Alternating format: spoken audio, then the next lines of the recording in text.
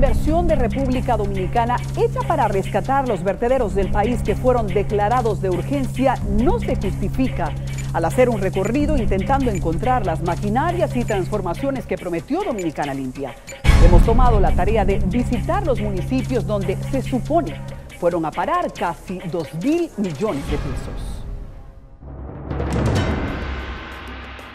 Verón en Punta Cana, primer polo turístico declarado de urgencia por Dominicana Limpia, quedó en un limbo. Pero no fue el único. Igual suerte tocó a la novia del Atlántico, donde el gobierno anunció la inversión de 550 millones en agosto del 2018. Moribundas montañas de basura con frecuentes incendios daban la bienvenida al principal destino turístico del norte, al momento en que fue anunciada la intervención de uno de los vertederos peor manejados del país. Hoy iniciamos con, los equipos, con uno de los juegos de equipo de Dominicana Limpia, la intervención para ir, digamos, tapando todos los residuos que están allí, colocándolo adecuadamente, realizándolo talud, estabilizándolo y después eso terminará reforestado. En julio del 2019, un escándalo sacudió al descubrirse que el entonces alcalde Walter Musa sacó provecho personal al negociar con un amigo la compra de un terreno para un nuevo vertedero. Musa compró por 52 millones un terreno que estudios técnicos decían era no viable. Lo hizo sin vista pública, sin deslinde ni consulta ciudadana y sin estudio de impacto ambiental. El vertedero actual, para que tenga la ubicación más clara, del lado atrás pudieran estar conectando en lo que sería ya el relleno sanitario o el destino final de las pacas, que es la basura orgánica que mayormente se estaría depositando. La inversión total de todo es de 250 millones de pesos. La decisión le costó el cargo y también le costó al municipio el caro precio del estancamiento de su solución al problema de la basura. Aquí hay 700 tareas de tierra, que ellos podían adquirir este terreno y si iban a reciclar y hacer la maquinaria aquí, no sacar el imán a llevarlo a otra comunidad, porque esto no lo quiere nadie.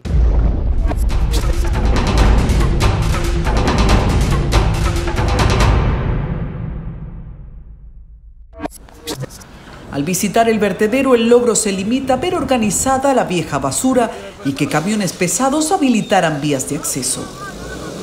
Dominicana Limpia quería lo que todos quieren hacer. Hacer un coso de, reciclaje allá adelante. Una compañía, venir una compañía y hacer su compañía allá atrás, sacar los buzos. Pero nada de eso se hizo.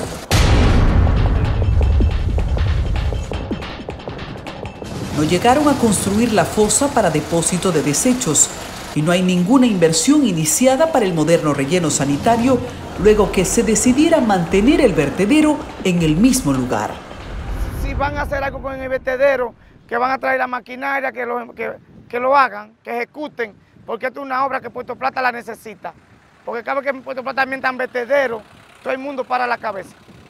Otro chasco para Puerto Plata es que a 24 meses de haberse dispuesto un cierre técnico, no se ha cumplido la promesa de que sus siete municipios y otros siete distritos municipales puedan depositar su basura en el gran relleno sanitario.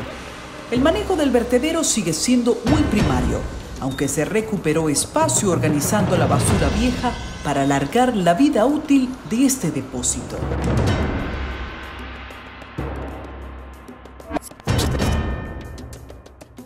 El municipio más poblado del país, pese a haber sido intervenido por Dominicana Limpia, es otro que no exhibe el cumplimiento ni la inversión que fue anunciada.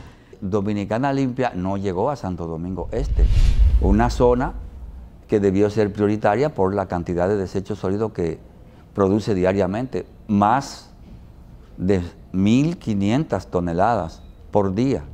Así expresa con decepción el alcalde Manuel Jiménez, quien atravesó por una crisis a su llegada por falta de logística. Continúan con el mismo vertedero y un transfer colapsado. Sobre la compra de equipos a través de la Liga Municipal Dominicana, confirma no llegó nada. No tenemos ni uno. ¿Equipos pesados? No, de Dominicana Limpia a Santo Domingo Este no hay nada. ¿Qué heredó este municipio? No, desde Dominicana Limpia no intervino Santo Domingo Este, no trajo equipo, no acondicionó el transfer. Hoy tenemos una situación permanente que nosotros, como usted sabe, la estamos enfrentando día a día. Junto a otros alcaldes, critica que se trató de un mecanismo de control que centralizó las decisiones en el Poder Ejecutivo en vez de fortalecer los gobiernos municipales.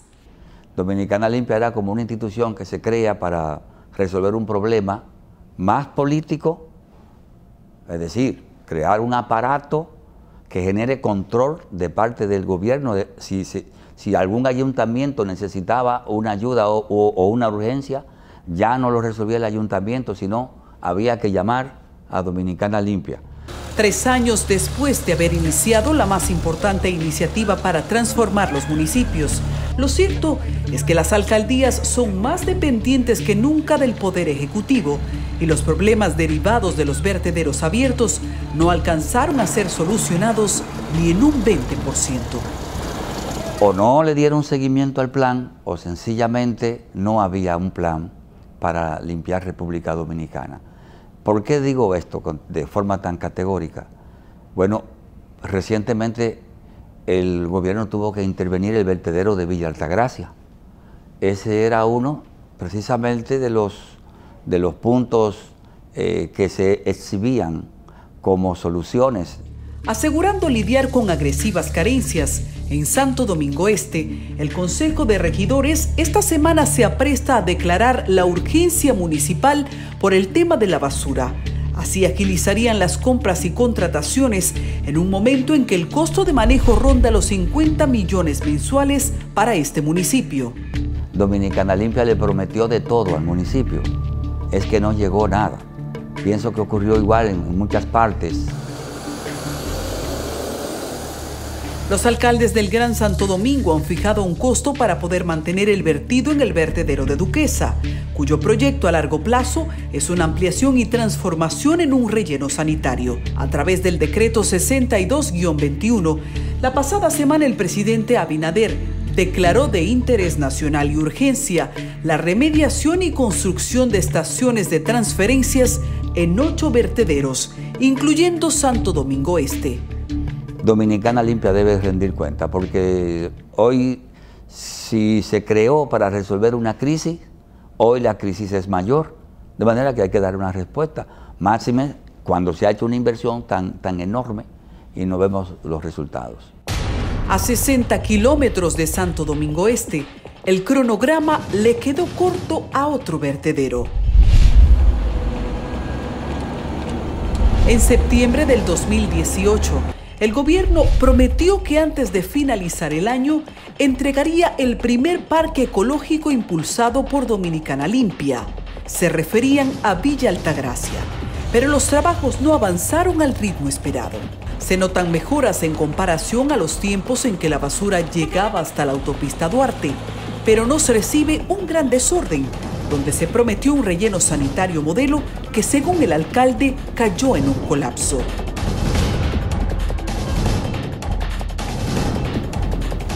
bueno que colapsara el proyecto que ya habíamos iniciado para, para que funcione como debe funcionar, porque la idea es, en vez de ser un vertedero, que sea una estación de transferencia. La basura tú la recoges en el pueblo o en los distritos, la lleva allí, la montamos en la boqueta, sale una boqueta porque tiene dos, hangares de, transferencia, esa se va, entra la otra boqueta. Al lado estaría una estación de transferencia y un centro de acopio de desechos donde serían separados antes de ser llevados a Duquesa, pero sigue funcionando como un vertedero. Para mí como alcalde, para hablar de honestidad, yo no estoy eh, satisfecho, como dicen, con, con el servicio que digo, le estamos dando al pueblo, entre comillas, porque yo encontré eso privatizado por una compañía que le hemos hecho múltiple presión, le hemos mandado cartas de comunicación diciendo que hay que mejorar el servicio.